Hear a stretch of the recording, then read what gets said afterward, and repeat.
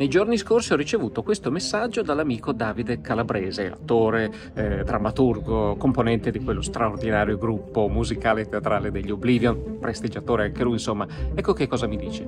Enigma Roll, il successo del documentario di Anselma Dell'Olio. Enigma Roll è un caso, il successo al box office del documentario sul sensitivo amato dai potenti. Caro Massimo, io sono sorpreso, so che sei uno degli attori, possiamo dirlo così, di questo film, ma il successo che sta avendo la figura di Gustavo Roll è veramente impensabile, ma sociologicamente parlando, ma come ce la spieghi? È una domanda interessante ed è di questo che parleremo oggi insieme.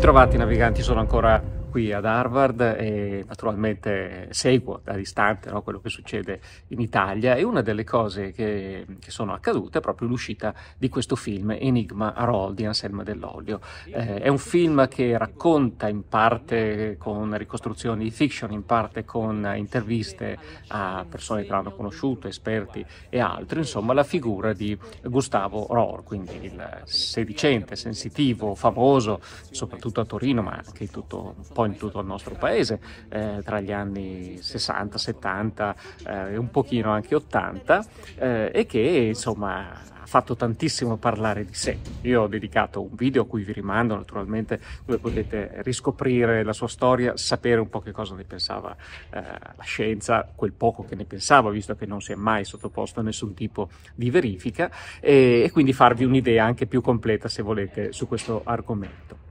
Di famiglia benestante, Gustavo Adolfo Roll, che per sua fortuna non doveva lavorare per vivere, si divertiva a organizzare in casa sua serate paranormali, alle quali consentiva di partecipare solamente a pochi amici e conoscenti di riguardo. In particolare Roll amava circondarsi di celebrità del mondo dello spettacolo, della cultura, dell'industria, della politica. Tra i suoi amici... Però come dice Davide è interessante effettivamente cercare di capire eh, come mai no, abbia ancora così tanto fascino una figura eh, come quella di Roll legata a un mondo, quello del magico, dell'occulto e in un contesto, quello di Torino, no? eh, che è sempre stata in qualche modo presentata eh, negli ultimi, nella seconda parte del Novecento, no? come la città magica per eccellenza. Come mai questa figura che effettivamente è datata e ha ancora così richiamo, così fascino? Penso che i motivi siano diversi, nel senso che da un lato c'è un gruppo di suoi ammiratori, anche discepoli se così vogliamo chiamarli, che ha mantenuto viva la memoria attraverso pubblicazioni, libri, ricordi, eh, memoriali, anche video, anche qui su YouTube se ne trovano, insomma, che ricordano proprio la, la figura di Rod, naturalmente con tantissima leggenda, tantissima fantasia e, e, e nessuna, nessun tipo di scienza intorno, però questo è sicuramente uno di quegli elementi. L'altro aspetto eh, si deve forse al fatto che queste storie piacciono sempre, no? l'idea che ci sia qualcuno che ha scoperto capacità straordinarie e che possa fare cose incredibili. Eh, sulla figura di Roll, come dicevo, ho realizzato un video a cui vi rimando e magari dopo in conclusione vi, vi metto un, un, estratto così eh, potete anche vedere di che cosa si tratta e poi guardarvi il video per intero. Però appunto la figura di Rolo è, è interessante da un punto di vista psicologico, sociologico appunto, per capire come molto spesso noi siamo portati a dare credito ad affermazioni straordinarie che non sono documentate e comprovate in nessun modo, proprio perché come dicevamo Roll si è sempre rifiutato di sottoporsi a un qualunque tipo di verifica, no? dove fosse presente anche semplicemente una videocamera con cui puoi osservare queste sue dimostrazioni eh, dei presunti poteri che vantava di avere, ma si esibiva solo in casa sua, solamente per un gruppo selezionato di persone che erano suoi ammiratori, suoi seguaci si potrebbe quasi dire, eh, e lo faceva sempre in orari eh, veramente tardi, in genere questa era un po' la, la, la, sua regola, invitava a casa sua alcune persone, spesso anche eh, conosciute, famose, sappiamo che Fellini era uno dei suoi ammiratori, e poi iniziava queste lunghissime chiacchierate che andavano avanti fino a mezzanotte, l'una di notte, e solo allora quando il pubblico intorno a lui era anche abbastanza stanco probabilmente e poco attento, iniziava le sue dimostrazioni. È diciamo, il clima ideale per chiunque, per qualunque prestigiatore voglia presentare qualcosa eh, e non far capire il trucco. In realtà i prestigiatori si esibiscono a qualunque ora, in qualunque condizione, però insomma se, se hai qualche dubbio sulle tue capacità tendi a, a farlo per un pubblico che magari è un po' più distratto, un po' più stanco. Ma questo era un pubblico favorevole, soprattutto, un pubblico favorevole, cioè un pubblico che non si mette a osservare in maniera critica quello che accade, ma si lascia trascinare dal racconto, dalla magia, della, del, così, del, del, della narrazione che uno come Roll, che sicuramente era molto bravo a raccontare le cose, riusciva a costruire. Io credo che questo sia l'obiettivo agognato dalla maggior parte dei prestigiatori, cioè quello di riuscire a lasciare un segno dentro chi ti guarda. Chi riesce a fare questo è un bravissimo illusionista. La telepatia, la chiaroveggenza, tutte le facoltà di percezione extrasensoriale supposte non sono mai state dimostrate da un punto di vista scientifico, non esiste una sola prova. Tutti parlano di roll per gli esperimenti, ma lui ha salvato un sacco di se non avessi risposto, quella donna si sarebbe suicidata. E lui per tutta la notte ha fatto esperimenti con i tedeschi. E non soltanto di veggenza per dire che cosa c'era nei loro cassetti, ma anche per metterli in contatto con i loro cari. E in epoche di grandi incertezze, lo sappiamo, il fascino del magico, l'attrazione di tutto ciò che è magico e che sembra dare risposte sovrannaturali quasi alla realtà e a quello che ci capita intorno aumenta e, e no, indubbiamente il momento storico che stiamo vivendo è pieno di incertezze, di dubbi, di, anche di, di, di ansia, no? di paure e una figura come quella di Roll eh, in qualche modo aiuta la fantasia, aiuta anche forse dà anche un po' di conforto a, ad alcune persone perché eh, immaginano così che possa esistere quest'altra dimensione eh, straordinaria dove si può accedere a chissà quali eh, capacità e facoltà e anche soluzioni forse no, ai problemi che sono molto più difficili da risolvere nella realtà concreta in cui tutti noi viviamo percepisco solo delle cose. Roll poteva fare delle cose vere, non vere, barare, non barare, però ti portava sempre a un livello alto, a livello dello spirito. Non mi dilungo quindi nel, nell'entrare nel merito delle, di quello che faceva Roll, appunto, visto che ne ho già parlato in un altro video, e se volete andare ancora più a fondo, naturalmente vi consiglio sempre il libro di Mariano Tomatis, Roll, Realtà o Leggenda, con questo bel gioco sul, sull'acronimo che è il nome di, di Roll, dove ha fatto un lavoro veramente certosino, andando ad analizzare le testimonianze dei, delle persone che erano presenti eh, alle, alle sedute, alle serate di Roll, mettendo a confronto quello che dicevano. Cosa interessante per chiunque si occupa occupi di giochi di prestigio, chiunque sappia come funzionano queste cose, è che li vedi descritti esattamente come funzionano, no? quali erano le tecniche che usava, quali erano eh, i meccanismi del depistaggio che adoperava. Degli effetti di roll bisogna pensare che sono molto vicini ad un classico della prestigiazione o del mentalismo.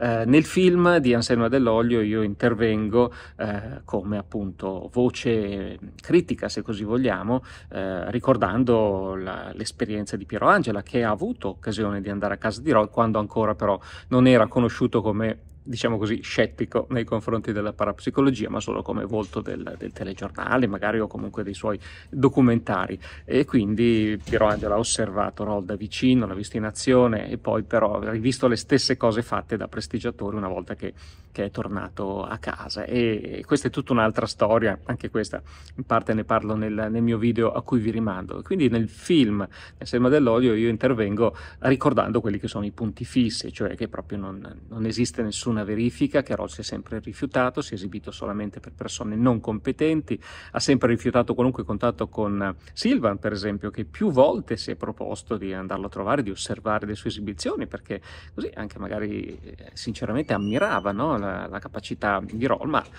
sapeva bene, evidentemente, Roll, che se fosse stato osservato da qualcuno che i trucchi li conosce molto bene, sarebbe stato scoperto. Quindi non c'è molto altro in realtà da dire su questa figura, se non che continuerà a suscitare interesse nei suoi sempre meno adepti naturalmente man mano che il tempo passa e i libri scritti su di lui probabilmente continueranno a sollevare domande curiosità tra, tra gli appassionati.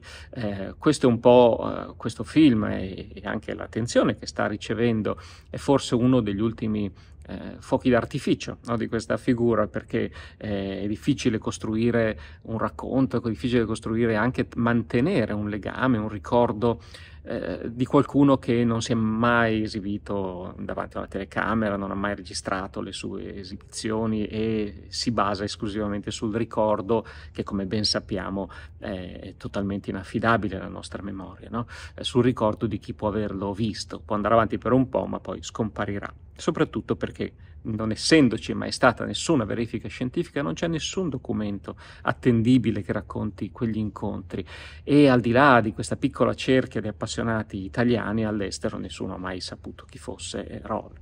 Ecco, detto questo, ehm, vorrei anche eh, rispondere a chi eh, in genere, quando si parla di una figura come quella di Gustavo Roll, dice sì, però eh, lui ha salvato delle persone durante la guerra o, o altro che è un grandissimo merito, se questa storia è vera, naturalmente è un grandissimo merito ed è una cosa meravigliosa se l'ha fatta. Eh, magari stona un pochino no, il fatto che lui stesso ricordasse di aver salvato queste persone. Se pensiamo a un'altra figura come quella di Carlo Angela, che è il papà di Piero Angela, che ha nascosto nella sua clinica psichiatrica eh, vicino a Torino eh, decine e decine di persone ebrei, antifascisti, che erano così, cercavano di salvarsi durante la guerra fingendo che fossero malati di mente, ma che non ne ha mai parlato per tutta la vita e che questa storia è venuta fuori solamente negli anni 90 quando uno dei superstiti ha raccontato quella storia in un libro e effettivamente le indagini che sono state fatte dalla, dalla comunità ebraica, Israele,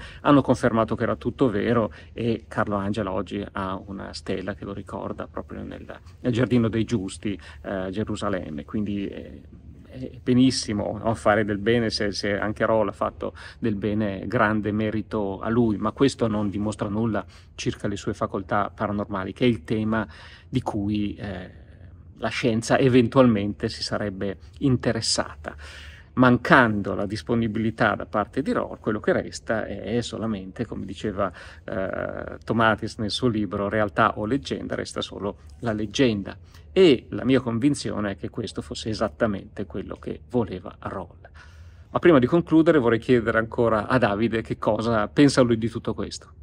Beh, da professionista dello spettacolo sono l'uomo più felice del mondo. Quando ci sono le code al botteghino posso solo che gioire della cosa. Però una riflessione la faccio. Se da un lato scienza e tecnologia oggi sono arrivate a dei livelli altissimi, dall'altra vedo anche questo aumento del fascino nei confronti del mondo del mistero. Quindi razionalità e irrazionalità sono in contraddizione? Ma secondo il mio punto di vista no, viaggiano sullo stesso binario e spero che le nuove generazioni siano affascinate dal mondo del mistero proprio perché volonterose di affrontarlo con gli strumenti della scienza.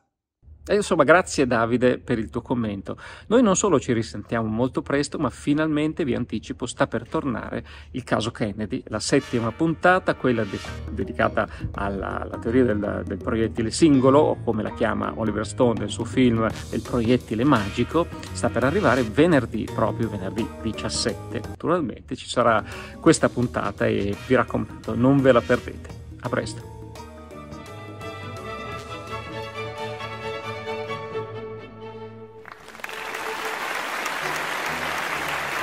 Quando lo stesso Silvan fu sfidato in televisione a replicare la lettura in un libro chiuso per cui Roll era famoso, lo fece in una maniera ancora più straordinaria di lui. Cercate il video di quella incredibile esibizione e vedrete da voi. Lei scelga un libro per cortesia. Vediamo il primo. Mi puoi seguire Costa qui adesso? Vediamo il primo. È un po' cattivello, non è importante. Scelga Vabbè, uno qualsiasi, è il primo, primo che mi viene. Ecco, Stia adesso. Lei per cortesia vuole aprire questo libro, dove vuole lei? Dove voglio io? Dove vuole lei? Non le chiedo neanche la pagina. Avrei adesso potuto vediamo. benissimo farle scegliere la pagina con un mazzo di carte come fa il vediamo, nostro, adesso io me la sto scegliendo. il nostro amico Roll. Io Vabbè. non faccio niente di... La pagina!